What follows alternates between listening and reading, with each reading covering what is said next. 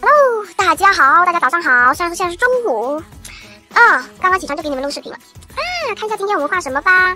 很多小伙伴都非常喜欢我这个唠嗑像的视频，然后今天就是补昨天的一个内容，把昨天的嗯涂色给涂好。这个是我勾的一个线稿，是我自己画的两个小人儿，是我画我和我妹妹，就是去我妹妹家里玩了嘛，然后就跟着我妹妹一起去买东西吃，所以就还挺开心的，就很喜欢这种童年的氛围啊，童年的感觉，童年的感觉。哦，这个是一个三折的页哦，给你们翻翻哦，这里没有三折页，这个是我的一个单子，然后啊，我觉得这页还挺满意的，有植物，还有我的，哎，反正我觉得这个排版还挺好的，对。然后这个是我拿儿童水彩笔，儿童闪闪闪闪笔画的。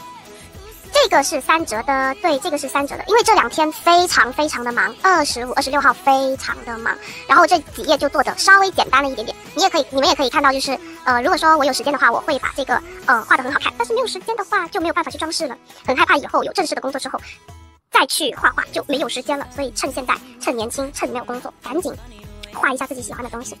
你们今天画画了没有呀？对，有很多粉丝宝贝他都会说，十二，我觉得你是我最好的背景音，意想不到有什么视频看了，还有很多人哦、拿我的视频去下饭，然后还有很多人拿我的视频去，就是做作业也好，做家务也好，反正就是在那挂机听我在那唠嗑。好吧，能够成为你们的背景音，我非常非常的荣幸，谢谢你们对我的喜欢。这是我妹妹，我妹妹的头发会比较黑一点点，所以我要画一点点黑色，画一点点深一点的棕色给她。我不知道为什么我的头发就是会有一点点黄，可能就是天生的吧，就是很黄。小的时候还没那么明显，长大了就越来越黄了。然后我一回到我外婆家那边，他们都会第一时间问我：“哎呀，你是不是染发了？”我说：“我没有，我都大学了，我染发我不能光明正大的说嘛。”然后他们就说：“哦，也是哦。”哎，你头发怎么这么黄？你妈妈是不是不给你饭吃？我说没有。哎呦，我外婆真的是把我笑死了。哎呀，好想出去写生啊！你们想不想看写生视频？想不想？带你们一起去写生好不好？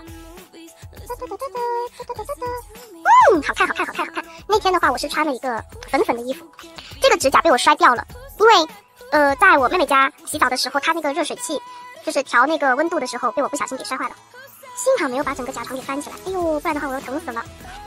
你爱我，我爱你，这冰山甜蜜蜜。哎呀，晕上去头发那里，哎，不过无所谓了，就这样子吧。哦，其实我很喜欢这种很轻松的小画，就是偏向于小漫画的这种，真的很轻松，它没有任何的技巧可言，但是它就是画出来了很有效果，很可爱。你们想不想学？你们想学这种小漫画的话，我教你们画好不好？有人想看吗？有人想看的话，评论区扣个一，或者说是弹幕扣个一，画这种可爱插画小人。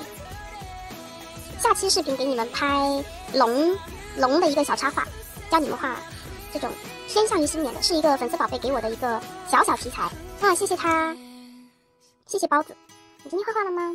没画画也没关系，你过得开心的，这一天也很棒。画画是取悦你的东西，知道吗，宝贝们？然后我妹妹穿的是蓝色的，被水淹了，擦一擦，擦一擦。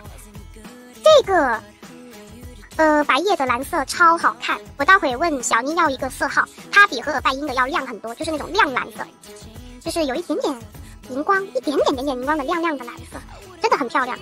到时候要到色号了之后，在这里给你们发一个图片放在隔壁，告诉你们色号是哪个。而且白叶的就很便宜大碗，对不对？就是二零二四年可能我会更新我的写生会比较多。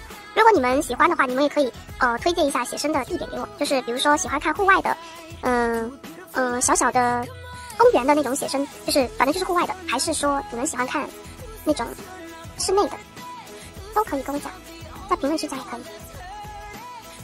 告诉你们哈，就是像现在的这个情况，我们的画面是不是非常的扁平？尤其是这条裤子，我们就要加一点点深的绿色，在我们的暗的地方，一点点随便的这样撩几笔就够了。这样子的话，就能把它的明暗关系给处理好，并且那个画面不会有太多太多杂乱的颜色。你看这样是不是就可以了？嗯，聪明。然后我穿了一条米黄色的裤子，米黄色其实很好挑，你拿一个粉色，再加一点点黄色，柠檬黄。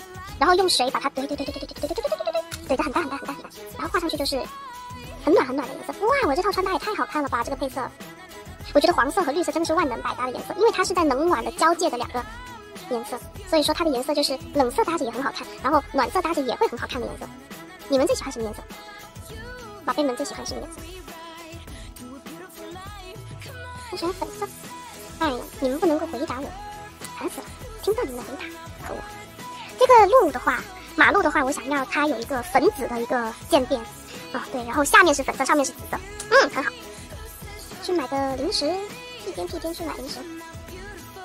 哦，对，还有一个问题就是问一下你们小的时候看不看《查理九世》？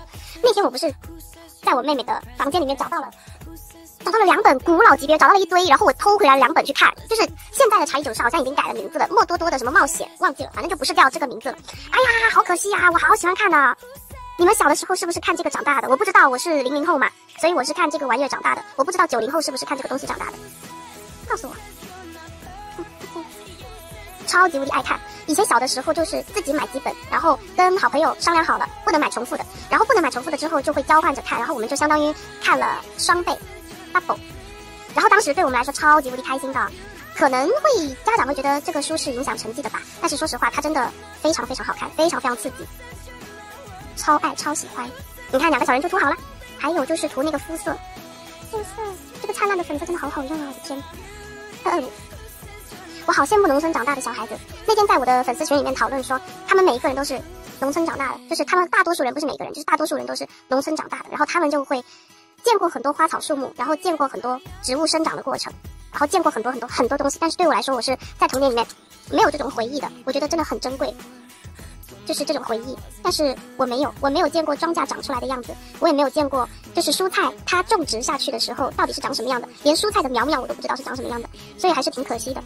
很多人就会说，哎呀，在城里长大不好吗？在城里长大，呃，好好好好好先进啊，好高科技啊，什么东西都有。其实不是的，就是很闷。就是广州，其实我也不知道为什么这么多人过来玩，但是就是每年都会有非常非常多人跑过来我们这边旅游。你们对广州的喜欢，但是我在这活腻了，我要跑到别的地方去。对，上个背景吧。你对我好，我心里都知道。学学这个，学学那个，忙得不得了。我的烦恼又有谁能知道？爸爸听我说，妈妈听我说，我最喜欢和小朋友打打闹闹。你们有没有听过这首歌？我记得小的时候，幼儿园表演的时候有这首歌，我记到现在。天哪，童年真的太治愈人了。如果你们看那个书看腻了，你们要去看一下你童年的书。你童年在看什么书？你再看一遍，你会非常非常的治愈。就像那个查理九世，还有那些什么阳光姐姐，还有那个吴美珍什么笑猫日记那种东西，看了之后真的会好治愈，好治愈，超爱的。哇，我才发现我这一页全都是纯手绘耶，就是真的是一丁点儿拼贴，一丁点儿缝隙都没有。这个构图真的好饱满呐、啊，好可爱。才发现这个影子也不要忘记画哦，宝贝们。哇太丰富了，太丰富了。这个影子该怎么画？我告诉大家啊，就是首先你调一个蓝色，然后在这里这样画一个圆